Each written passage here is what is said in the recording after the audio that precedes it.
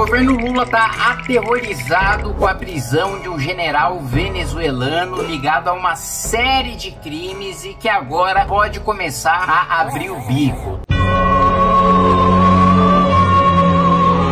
Nós já sabemos da relação muito estreita que o Lula tem com ditadores sanguinários, inclusive Nicolás Maduro. A relação do Lula com a ditadura venezuelana já vem de longa data, assim como da ditadura cubana, da ditadura da Nicarágua e diversos outros países. Ah, que nojo! Mas agora Lula tem um medo real, Lula tem uma razão real para temer essa proximidade, né? Esse laço estreito que ele possui com Nicolás Maduro Maduro após a prisão desse general, que é o braço direito do ditador venezuelano. Nós vamos falar sobre isso logo depois que você se inscrever no canal, que você clicar no sininho para receber as notificações e você compartilhar esse vídeo com o máximo de pessoas possível. Bom, a notícia aqui que eu trago para vocês é da coluna do jornalista Cláudio Humberto. Aliás, é um excelente jornalista e eu recomendo que vocês acompanhem a coluna dele aí sempre que vocês tiverem a oportunidade. Vamos lá, vamos ver o que diz a coluna do Cláudio Humberto. A cúpula petista e o Planalto andam apreensivos com a prisão do general venezuelano Hugo Carvajal nos Estados Unidos, onde chegou extraditado na quarta após cerca de 10 anos de negociação com a Espanha. Temido ex-chefe da inteligência, o general foi olhos e ouvidos do ditador de Nicolás Maduro, acusado de prender, torturar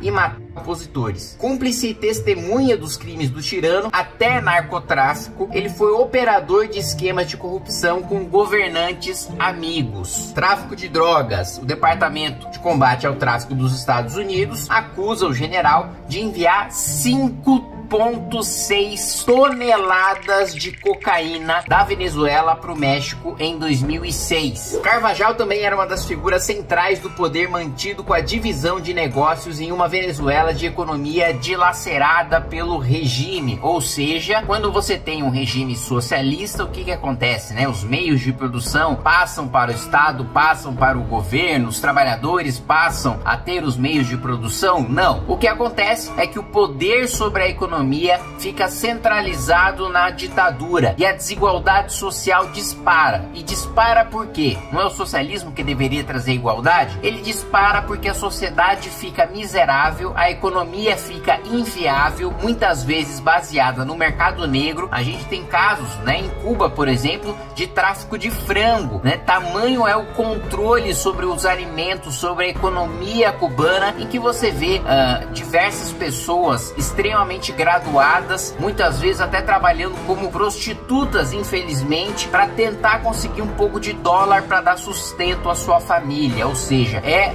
um governo que marginaliza toda a sociedade que não faz parte da cúpula do poder, que não faz parte da cúpula do regime, né? Então, o que acontece é que esse general, ele era um dos principais operadores da economia venezuelana, ou seja, decidia quais eram aquelas empresas que iam prosperar e aquelas que iriam fracassar aquelas que teriam contratos com o governo e aquelas que não teriam contratos com o governo. Os tais campeões nacionais, as empresas venezuelanas escolhidas para terem sucesso e tentar ganhar projeção internacionalmente. Esse tipo de política soa um pouco familiar para você que está aí me ouvindo? A área de inteligência no Brasil tem a informação de que o general se queixa de abandono de Maduro e demais aliados e cúmplices, ou seja, né, quando um sujeito desse calibre, dessa magnitude, é pego, é capturado, né, agora preso nos Estados Unidos e não se sente respaldado pelos seus aliados, ou seja, ele se sente abandonado, o que que acontece naturalmente, meus amigos, é dedo no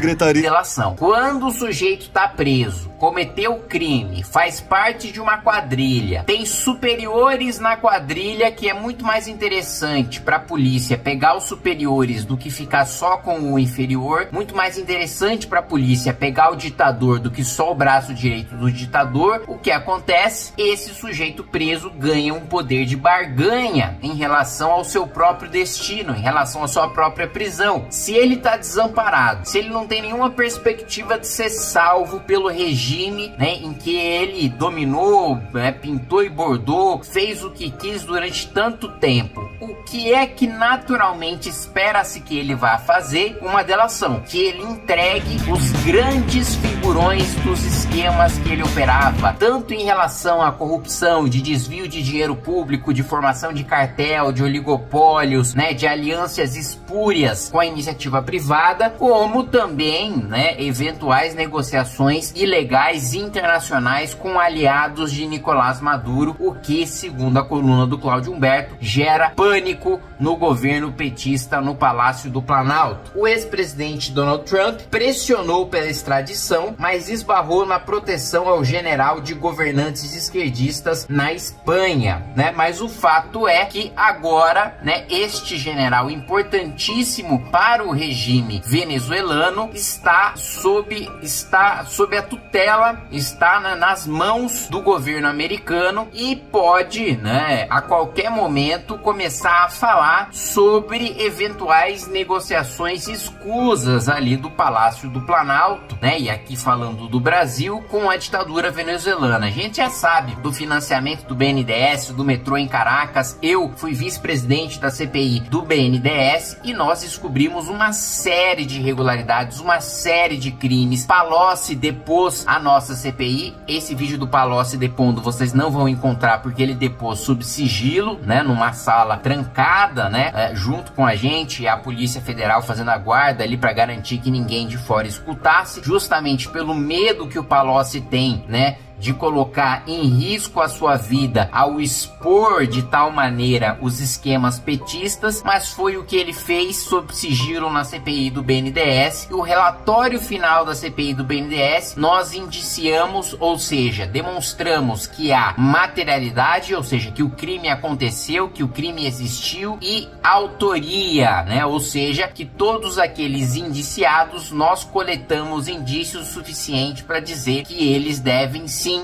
ser denunciados né, pelo Ministério Público. Acontece que, infelizmente, o Ministério Público, comandado pelo senhor Augusto Aras, preferiu não apresentar denúncia, preferiu blindar os governos petistas e, graças a isso, nós temos vários ex-ministros do governo Lula 1, Lula 2, governo Dilma 1, Dilma 2, hoje exercendo posições de poder porque não foram devidamente punidos com tudo aquilo que a gente coletou na CPI do BNDES, porque o Procurador-Geral da República, né, que deveria ali estar tá supostamente alinhado ao combate à corrupção, preferiu, na verdade, arquivar, né, sentar em cima de toda a investigação que a gente fez em relação ao BNDES. Agora, com o general preso nos Estados Unidos, ele abrindo a boca dos Estados Unidos, iniciando um procedimento, né, uma investigação, o Departamento de Justiça dos Estados Unidos, iniciando uma investigação, né, que possa levar ao próprio Maduro, claro, o general seu braço direito, mas também a aliados de Nicolás Maduro, inclusive o presidente Luiz Inácio Lula da Silva, que sempre teve uma relação muito estreita com o ditador venezuelano. A gente vai acompanhar isso de perto e qualquer novidade eu informo vocês.